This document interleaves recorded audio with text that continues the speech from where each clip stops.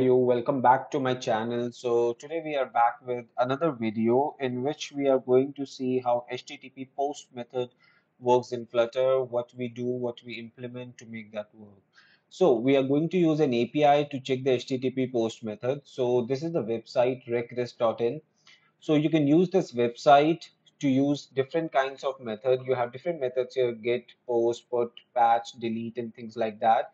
So we are working on the post method today. So in the post method, what we are going to do is, if you can see here, we'll put in the name and the job, and we should get in the response the name, the job, the ID, and the time at which it was created. So this is the, uh, you know, the sublink of the this part, reqres.in, and the response code is 201. So 201 basically means that the response is valid.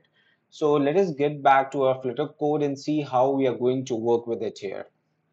Okay, so this is the sample Flutter code. I've deleted all the unwanted elements from here and I have renamed the class to uh, uh, the title to HTTP post method. And I have an empty container here. So inside this empty container, we are going to need two main items here.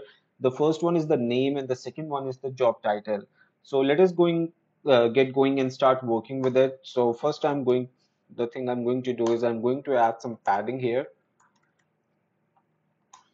So I'm going to add it on all the sides. Let's say I'll add 20.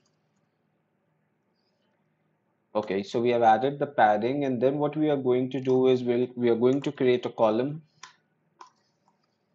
Mm -hmm, sorry.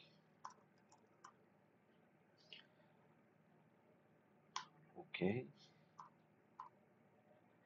Oh, I'm sorry. Uh, the container is going to have a child and the child will be a column. So the child is the column. Our column will have some children's. So the first children that we are going to take here is going will be a text field.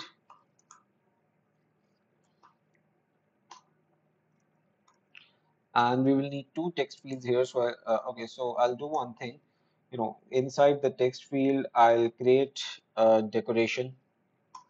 And the decoration will be of type input decoration. And I'll add some borders to it. So border. And the border is going to be outline input border. Okay so as you can see we have our first text field here. I'll also add a hint to make it clear so my hint text will be enter name here.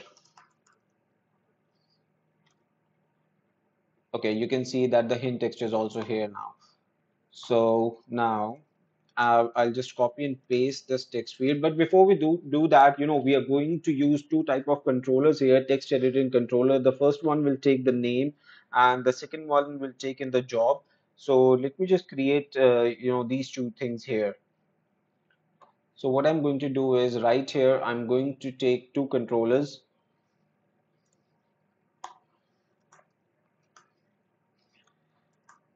So the first one I'm going to call name controller and this will be of type text editing controller.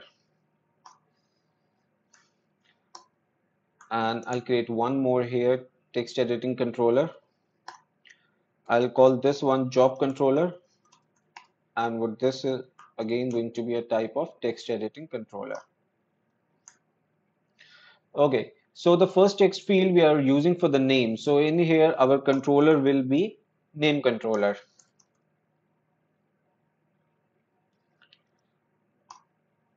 And now I'll just copy and paste these uh, this text field here for the second part which is a job controller. And I'll change the controller and this thing here I will say enter job title here.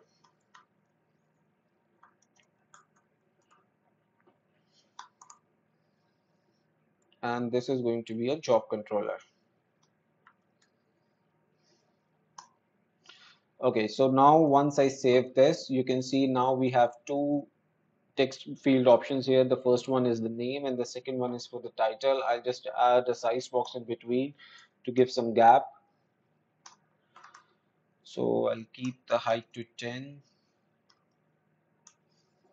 all right So now you can see we have some gap in here. Also, I'll create a button here which will uh, be used to submit the data.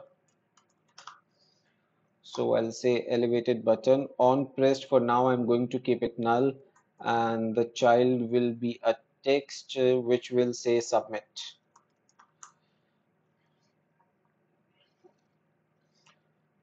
All right, so you, we can see everything here. So let us do one more thing, you know, which is a very good practice because see, let's just say you add more of a padding here. So, you know, if this come down, so whenever the keyboard is open, you get that overflow uh, overflowed pixel message. So what you need to do is you just need to go into your scaffold and inside the scaffold, the first child you should have should be the single child scroll view. So let me just add that here. All right, so single child scroll view is here. So even if the keyboard is there, you know, it is just going to shift uh, the things upside. So uh, we don't get that overflowed pixel message here. All right, so we have two different controllers here. So now the second thing that we need to do is we need to create a model class of this response here. So for to create the model class, the best thing I always like to use is I, I just go here, I use this website here, quicktype.io. So I'll just go here and paste this here. Okay, so you can see that everything is created right here. It does everything for you. I've selected the source type as JSON and the language here is Dart. So I'll just copy the code. I'll go back to my code. I'll create a model class here inside my library. So what I'm going to do is I will create a Dart file. I'll call it data model. And inside here, I'll just paste it. Okay, so you can see that we have the data model here. So this has the name, the job, the ID and created at which will show us the date and time. And whenever we want to use this model class, what we need to do is we need to use this final data model, data model from JSON, JSON string. So this will pass on the data to this class as per this class, as per the items in this class. So the next next thing that we would need to do is we will need to uh, you know, create a future function that is going to post the data. So let us just go ahead and create the future function now. So right here, we will create our future function.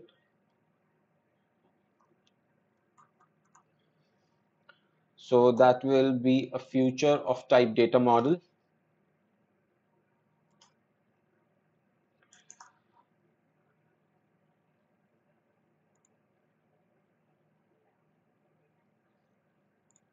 It's giving me some error. Let me just check why. Okay. So this is a future of type data model. I'll call this submit data and even before we do that you know we need uh, to import this data model let me just import it. And even before this we need to uh, add the http package. So let me just go ahead and quickly put in the http package. So to get the http package we'll go to pub.yaml uh, file. And in here we will go to pub.dev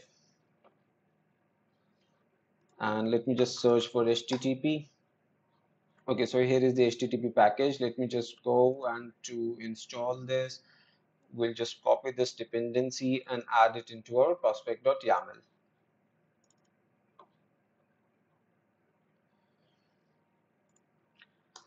All right, so it's done now. We'll just click on pub-get so that it can get all the details of the HTTP package. All right, it's done. So let us just go back to our main.dart. And what we are going to do here is we are going to import our HTTP package. So I'll import http.dart and I'll import is at http so now let's get back to the future function we were creating. Let's get back there. Okay so this future function as it is a future it's going to be of type async all right so let me just create call it an async and what this is going to do is this is going to take in a response. So I'll create a variable called response. I'll say await for http dot post Okay, so in the post function, I will say uri dot https and inside HTTPS, we need the authority and we need the unencoded path. So what is the authority? Authority is right here. Authority is this header. So I'll just copy it from here. And I'll paste it in here. And remember, while putting in the authority, we don't need to type HTTPS as we have already said that this is HTTPS and we also don't need this backslash here. And what is the unencoded path? Unencoded path is right here this one. Uh, so I'll just copy this here slash API slash users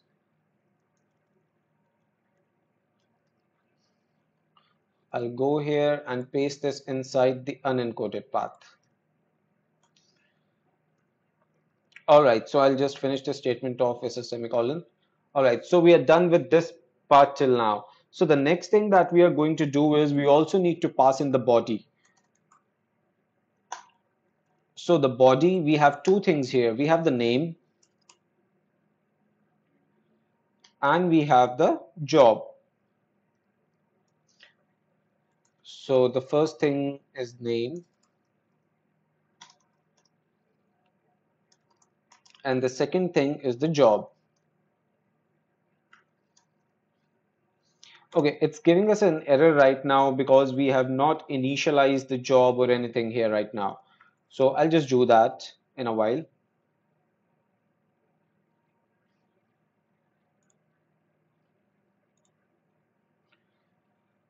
So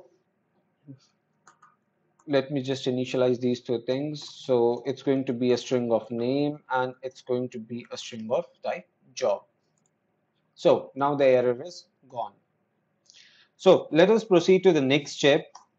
So I'll say uh, I'll create a variable called data and the data will be of type response.body. So whatever the response we get from the HTTP, it's going to be stored inside this variable data. And just for our reference, I'm going to print this data.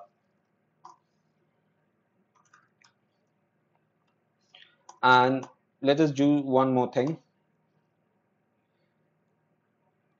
So we'll check if the response of the status code is 201 this status code here uh, this one. It's 201 so we are going to push it okay? We are going to see if it's working.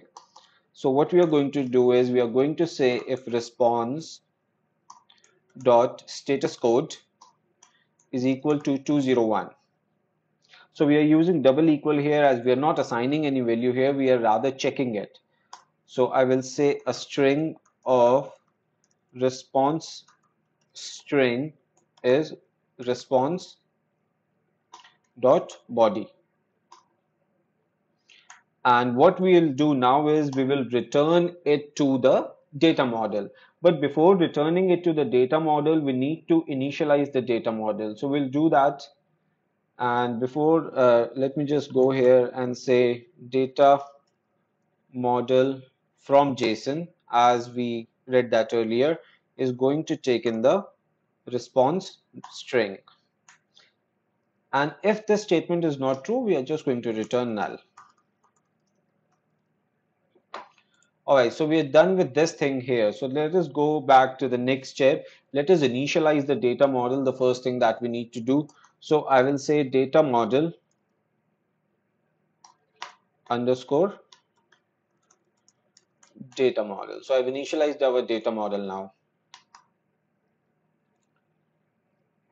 So now we need to push in, uh, you know, pass this function inside the elevated button that we just created here. So let us just go and do that here.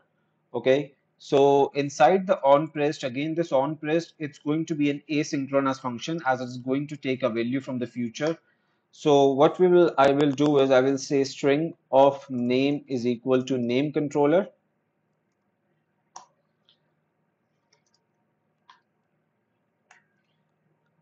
And a string called job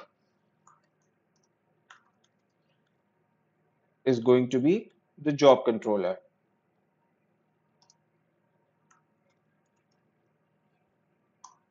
Okay it's giving us the error here because I have not passed in as a text so let me just do that and the same thing here All right, so both of these have been passed in as text now. So what I will say is, I will say that the data model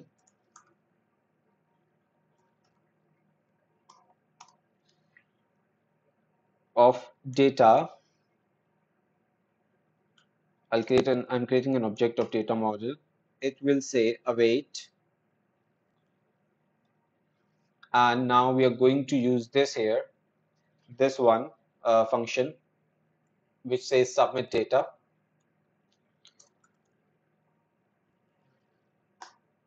and this is going to take in the name and the job which we have already assigned up here and then we are going to set the state we are going to update the values as underscore data model this is going to be equal to the data that we pass into it. So let me just save everything. You see that everything is working absolutely fine here. We have no errors in everything. So let us just see if our data is being posted. So I've opened the run window here. I'm going to quickly hot restart our app. All right, so let me enter a name here. So I'll just type in the name as test user and the job title I will say as test job. So let me click on submit. See, once I click on submit, you can see that we have the response. So the name is test user, job is test job, ID is 620 and this was created at this time. So if I click on submit again, you will see that the ID and the time, they keep changing. So this is exactly how we use the HTTP post method to work in Flutter. And if I update the values here, let me just show that to you. So let me just say user is blank and job is unknown.